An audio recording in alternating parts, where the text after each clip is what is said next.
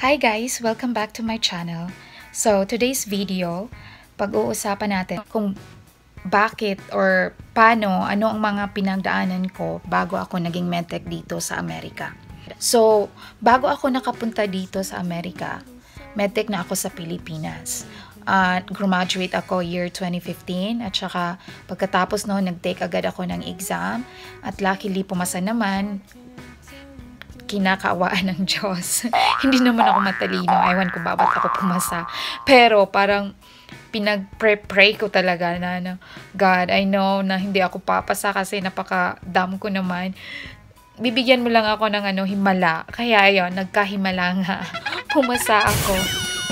Anyway, so pagkatapos kong pumasa, nag-apply agad ako ng trabaho at saka nakapagtrabaho sa ano, maliit lang naman na hospital doon sa amin. Uh, tapos, pagkatapos no, nag-resign ako kasi after one year kong nagtatrabaho doon, it's my first job, na-promote ako bilang officer in charge. I, I mean, kasi wala naman silang choice eh. Kasi yung mga kasamahan namin, part-time. At saka yung, ano namin, previous chief medtech namin, nag, nag-work na lang as part-time doon sa hospital namin kasi nakakuha siya ng, ano, magandang trabaho sa she's also she's a medtech of course pero nakakuha siya ng slot doon sa government hospital. So mas malaki ang sahod mas magandang benepisyo. So kaya yun wala silang choice. Eh ako lang naman ang full time doon. Kaya ako yung ginawang officer in charge. Eh wala naman akong kaalam-alam. Napakabobo ko doon eh, wala naman akong kaalam-alam. Napakabobo ko doon. Hindi ko na kaya alam nyo yung, yung, gust, yung bago ka graduate, yung pinag-isipan mo na na pag graduate ka, na pag naging mente ka, doon, ta, doon ka talaga magtatrabaho kasi yun yung gusto mo ng hospital, di ba? Kasi malinis, maliit lang. Tapos parang kumbaga, komportable siya, ganun.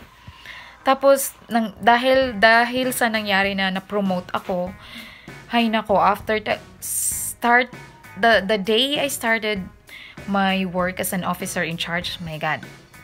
Nako. Like, I can like, I am always stressed. Like, I am working Monday to Friday and then my off is Saturday and Sunday.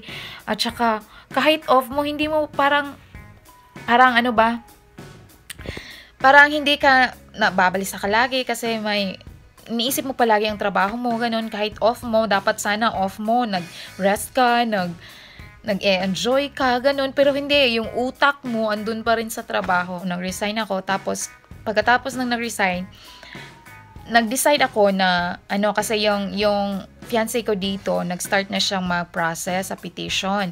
So, nag-decide ako, I mean, yeah, that time, nag-plan ako na mag-review sa Manila for ASCP.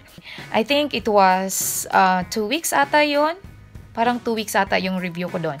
Tapos, um, pagka, pagbalik ko, dapat sana yung plano ko, tuloy-tuloy yung ano ko, continuous ano ba, review. Para ba yung, kasi bago ka nag-review, I, I mean, ba, kagagaling kong nag-review sa review center. So, gusto ko tuloy-tuloy bago ako mag-take ng ASCP. Pero kasi nga, uh, tinawagan ako ng kaklase ko pag uwi ko galing Manila. Tinawagan niya ako kung pwede ba akong magtrabaho sa part-time medtech sa, sa kanyang laboratory. Sabi ko naman, hindi ako tumanggi kasi part-time lang naman at saka so madami akong days na ano mag magre-review ako. Tapos yon nung nagsimula na ako doon, he asked me again if I can work Monday to Friday. At saka, uh, kasi nga, ayokong hindi kasi ako ano marunong mag-refuse. Nahihiya din akong mag-refuse. At saka bago pa lang din yung laboratory na, nila, sa tingin ko um ah hindi pa busy so pwede okay sige parang kaya ko naman dito na lang ako magre-review pag walang pasyente ganun walang gagawin tapos ito nga si ako pag walang ano wala naman ding pag walang gagawin or ganon, eh, wala pa akong, wala, hindi pa ako nag-apply ng exam for ASCP. Kasi tingin ko, kasi sa, sa time na yon gusto ko lang kasi ano, mag-review lang muna bago ako mag-apply kasi I will prepare myself before I will take the exam, ganon.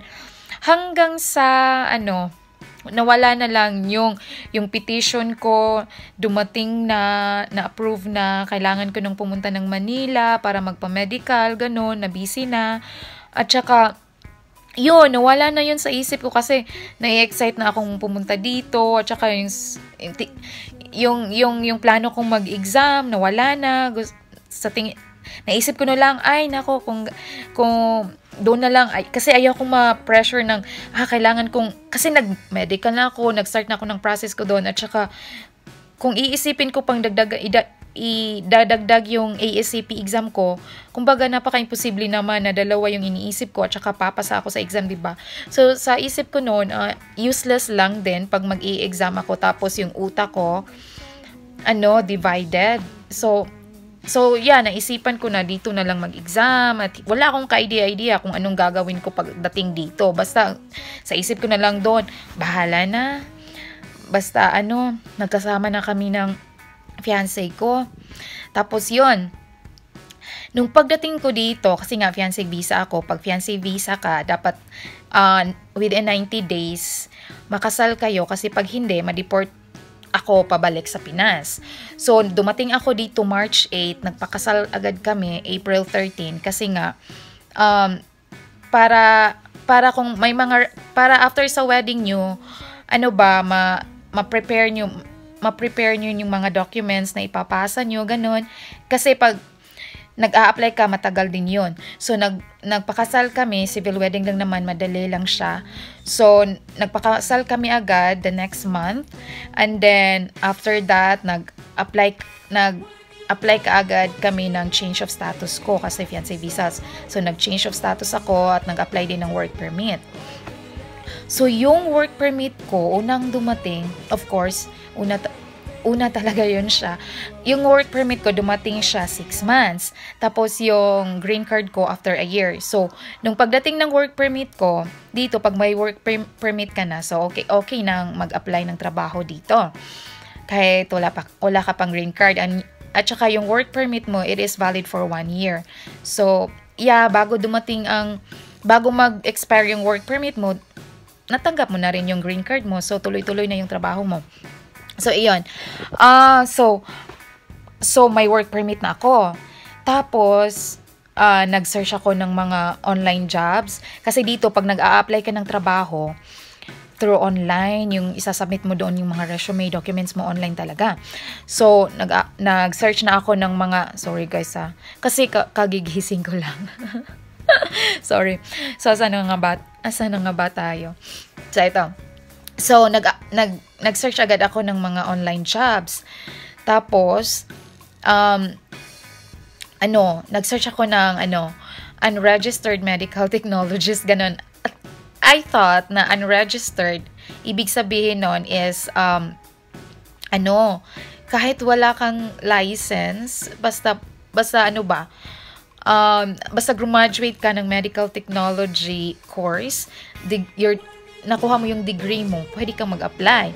Eh, ano, medtech ako sa Philippines. So, um, so, so tingin ko, baka ano, baka qualified ako dito. So, nag, nag-fill up ako, eh, hindi natanggap. Hindi daw ako qualified.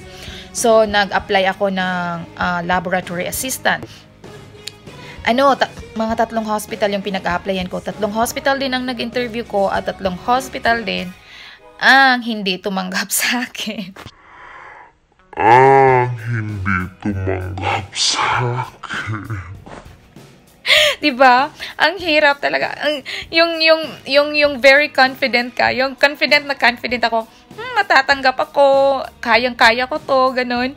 Pero hindi. Yung, doon ko na-realize na hindi pala, ano dito, pag nag-a-apply ka ng kailangan mo talaga ng ano standard nila pag pag mag-apply ka ng trabaho base sa natapos mo sa Pinas kailangan mo talagang ma-meet yung standard nila dito. Kahit ano pa ang experience mo sa Pinas kahit ilang years ka pang naging mete kahit naging kahit ano pang posisyon mo doon pagdating mo dito, kung hindi mo na-meet ang requirements, as, kung pagdating mo dito, kung hindi mo na-meet ang requirements na hinihingi nila, wala, useless lang din yon So yun, yun yung, yun, kumbaga, ano, al, ano lang naman din ako sa Pinas, hindi, 'di ba? So, um, so I gave up, hindi na ako nag-apply ng hospital, so nag-apply ako sa company ng asawa ko. Mahirap yung trabaho guys, mahirap talaga, napaka-physical, na low paying job, panggabi yung trabaho ko, pareho kami ng asawa ko kasi panggabi din siya. So, ang good thing doon is nakakas, nakakatipid kami ng gas. Kasi um, mag, magkasabay kami eh. Nakakatipid kami ng gas at saka malayo din yung company na kung saan kami nakatira, malayo yon yung company saan kami nagtatrabaho, mga ano. Kung paggabi, 25 minutes, eh walang traffic sa gabi, 'di ba? So pag hindi gabi, pag umaga, pag uwi namin ako, dadating kami sa bahay, siguro mga it takes like 40 minutes. Naku, sa 40 minutes na yon, uh, na, nahihilo na ako, gusto ko nang, kasi I always have like this motion sickness. Kaya yon ang hirap talaga guys. Tapos, mga ilang buwan doon, nag-decide ako, mga, siguro mga nag-start ako nagtrabaho doon, mga after 3 months. Okay, sa, sa isip ko, okay, mag-a-apply ako ng ASCP exam. I need a license para makapag-apply ako as a medtech. So, nag, pumunta ako sa, I know, uh, ascp.org na website. Tapos, nag-fill up ako doon. Uh, I went to BOC Products and Services. Tapos, uh, for like, uh, you select a category like for certification. Mali pala yung yun nga, na, yun bang, yun bang apply lang ng apply kahit ano ba? Yun hindi ba iniisip muna? Y- yun hindi ba iniisip muna? yun, yun yung na-realize ko pag dito ka sa Amerika, dapat iniisip mo talaga muna. Alamin mo muna bago ka ano, umaksyon. Ganun ba? Yung sa akin na, ah, eto na to, eto na to. Wala talaga. So, yun.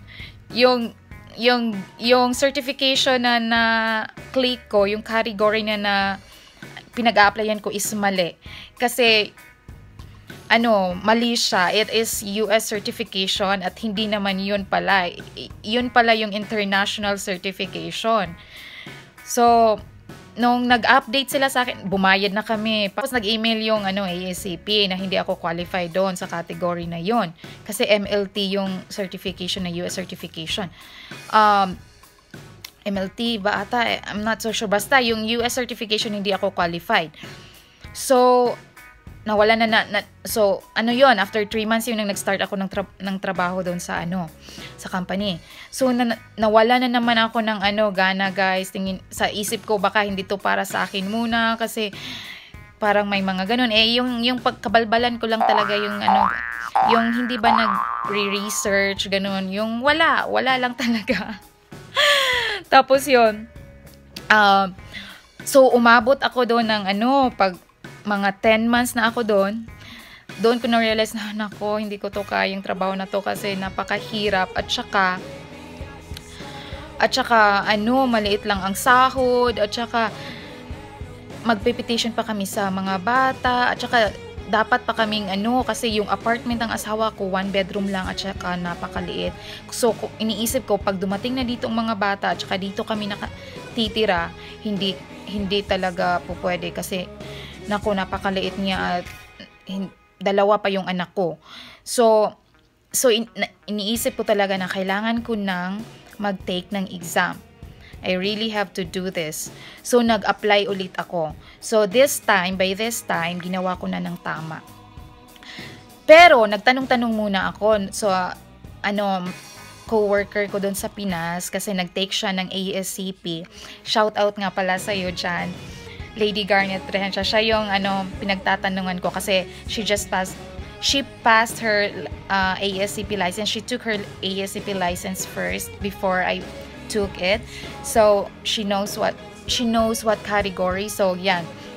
Sinabi niya sa akin na yung international ang ano category na pipiliin ko. So, yun, alam ko na. So, yun, mm, yun yung nag-apply na ako. Tapos, um, ano guys, nag-schedule na ako ng exam ko mabuti na lang at ano, nakalipat na kami ng apartment at saka yung apartment na pinaglipatan namin, malapit talaga doon sa testing center kung kung saan ako mag exam So yon mga siguro mga 10 minutes. Nako guys, nakakatawa talaga nung pag-take ko. Madami akong mga madami akong mga ano ba nga beliefs ba na oh, pag mag-take ng exam, dapat nakasuot ng ganito, ganito, ganyan, dapat ito ang ginagawa mo, ganyan, ganyan. So, yung mga pinagagawa ko, tapos yung asawa ko, sabi niya, oh, ano pang mga beliefs mo gagawin natin para lang pumasa ka? Nakakatawa. So, yun. Nako, guys. Sa, nako, siguro, siguro naman, uh, siguro, nag-work yung mga pinagagawa ko, kaya ako pumasa nakapasa ako, thanks God, kasi pag hindi ako nakapasa na ako, mawawala na naman ako ng ano, ng gana, at saka e- ewan ko kung how many months again it, it will take or years bago ako makapag-decide na mag-take again mag-take ulit. At saka pumasa, buti na lang pumasa. So, pagkatapos noon, nagkaroon ako ng license. Nag-apply na ulit ako ng hospital. Tapos, pag-apply ko, ano, hinihingan ako ng transcript of records. So, pinasa ko yung transcript of records ko ng original, nung kinuha ko talaga sa Pinas.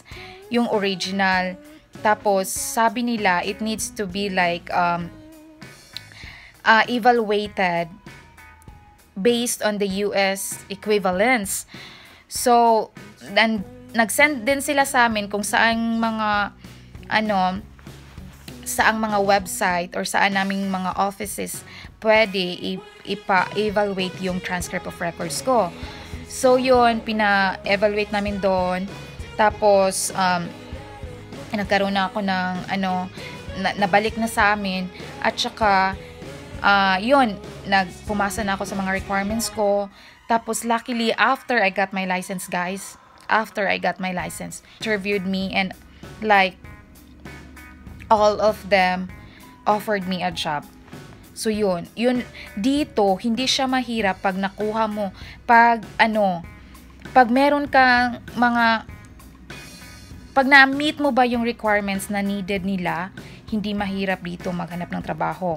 Pero pag hindi mo na-meet, tapos kahit anong pang profession mo sa Pinas, pag hindi mo na-meet, hindi talaga. Kasi nakabase yung standard nila. Kasi may mga inspection, di ba, na mangyayari pag yung employee mo, pag yung employee mo walang sapat na documents, ma, maano yung facility. So, ayaw nila ng ganun. So, they will make sure na ano, qualified yung ano nila, yung employees nila. So, yun, natanggap ako. Saya-saya ko, guys. Ang saya-saya ko.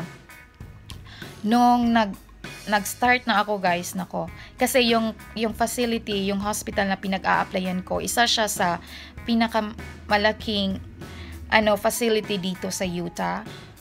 It has 22 hospitals all over the all over Utah.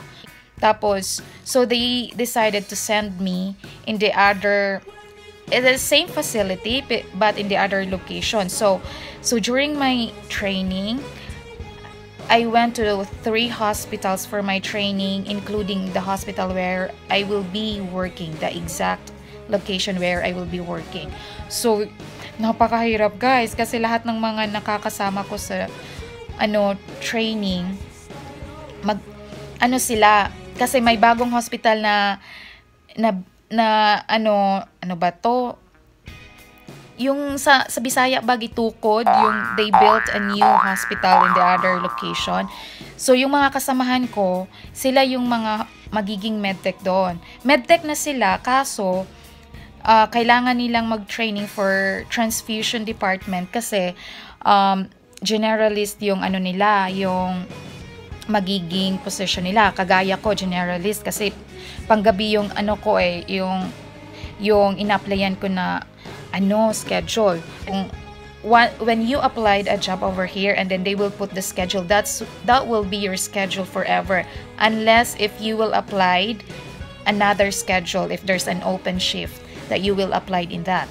Pero pag hindi, kagaya ko, yung open shift na na yung op- vacant na position is graveyard at saka yun yung malapit sa ano sa apartment namin graveyard siya. Ang schedule is 7 nights on, 7 days off. So, kumbaga, mag, magtatrabaho, magtatrabaho ako ng straight 7 nights. Tapos, ng, pagkatapos ng 7 nights ko, straight din yung off ko 7 days.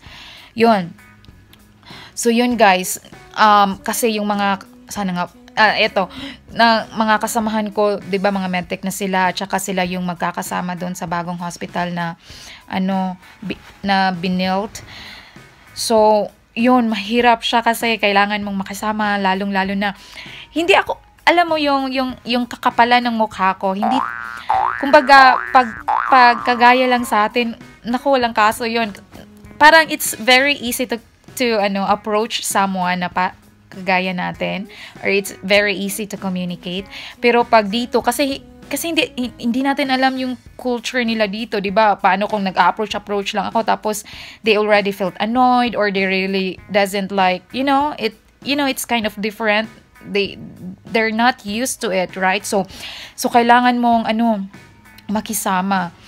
Tapos um yung training ko doon nung pa, pa three months yon yung palipat-lipat sa different locations kasi meron silang mga SOPs every department. Like for example, um, ah, meron din naman tayong mga SOPs pero dito sinusunod binabasa mo talaga. Uh, chemistry, hem- hematology, and transfusion. So, each department has a team lead. And then, dadaan, dada, dumadaan talaga, dadaan ka talaga sa ano, each department at saka they have their lots of SOPs and checklist and exams that you have to pass bago kanila ano i ano na okay ka na sa department na yan. Tap bago ka na naman mag-proceed sa another department. So yung yung unang oh, yung una pa lang de- department na ano ko training is chemistry. Tapos nako yung machine nila nako napaka napaka complicated guys. Yung fully automated siya, pero ano, yung complicated yung processing kasi you have to do this weekly, I mean, daily, weekly, monthly maintenance, something like that. Pero sa monthly, ano ang gumagawa nun? Yung team lead namin. Pero ako, daily at weekly lang. Tapos, pag-aaralan mo yung parts ng machine, tapos calibration, dapat malalaman mo ang expiry bago ka mag-recalibrate or if you are changing new lots. So, it's kind, kind of complicated. Hindi ka guys sa atin parang yung chemistry, 'di ba Parang kaya lang natin. Dito ang hirap. Tapos sa hematology din, may mga body fluids pa. Eh hindi, eh, hindi pa ako nakapag-try ng mga body fluids doon sa Pinas. Wala akong ka-idea-idea sa mga ganun. Tapos sa chemistry, meron pa kaming gram stain. Tapos, ano, pero sa chemistry, gram stain lang yon uh, pag meron pang more than that, then we, will, we send it to, ano, the central lab. And then, sa transfusion ako guys, napakaiba talaga ang transfusion nila dito kasi bago um, bago kami mag mag issue ng blood unit, we are making sure na we do the type and screen. So kasi kung kung meron siyang ano antibodies, ano, kailangan mong i-work out, i you have to do antibody detection, identification, kung ano yon tapos mag-antigen typing ka sa mga blood unit, ganun. Uh, so, mahirap, napaka, kumbaga napaka maraming differences na hindi ko napagdaanan, na hindi ko, kahit nung sa, sa student ako, na-encounter ko lang siya, pero napakabobo ko kaya ng transfusion. Ewan ko ba, ba't ako naging medtech yung... Pero now, I, now that like, when you, when I start working, na I learn to love like, I love what I am doing, something like that. Pero, kahit mahirap siya, pero pag, al, parang kumbaga, na, na ano mo na ba, na, it already makes sense nung sa mga na-encounter mo doon na you don't, na kagaya ko nung student pa ako, ano, hindi nga ako marunong mag-rule out ng antibody nung student pa ako, hindi ako marunong, dito lang ako na, dito lang ako natuto, after kung mag-start, nung nag-start na ako ng trabaho kasi tuturuan ka talaga kung paano ka mag-roll out ng antibody. Eh, yung nag-take ako ng ASCP, nako guys, ewan ko ba kung ba't ako pumasa ng ASCP. Wala naman akong kaalam-alam. At saka, doon ko pa lang na-realize nung pumasa na ako ng ACP at nag-start na ako ng work ng work. Doon ko pa, naku, nung nag-review ako nito, ang hirap-hirap, hindi ko maintindihan. Ito lang pala, ma- ano lang pala siya, ganito lang pala to. Ba't ang hirap-hirap nung nag-review ako? Yung wala akong kaalam-alam, guys. So, yan na nga, guys. So, ngayon, as for now, nagtatrabaho ako. Magwa one year na ako next month. So, hindi parang hindi ko na malayan parang ang dali-dali ng panahon na nagwa one year na ako. Parang parang kahapon lang nagte-training pa lang ako. Tapos ngayon nagwa one year na. Kaya yun guys, yun mashe-share ko pag pag ano sa mga nandito kasi may mga nagtatanong kasi sa akin paano ako nag-apply ng ano ng license ko dito at saka ano ang study materials. So sa susunod guys, pag-uusapan natin kung ano yung study materials na ginagamit ko bago ako nag-take ng ASCP. So, so yun lang muna ngayon guys. Abangan nyo na lang ang susunod na video ko. At saka kung, saka please don't forget to subscribe para maka, para gaganahan naman tayong mag-share. para tuloy-tuloy yung ano natin pag-share. Don't forget to subscribe and leave a comment or questions down below kung ano pang mga tanong nyo. See you again next time. Bye for now.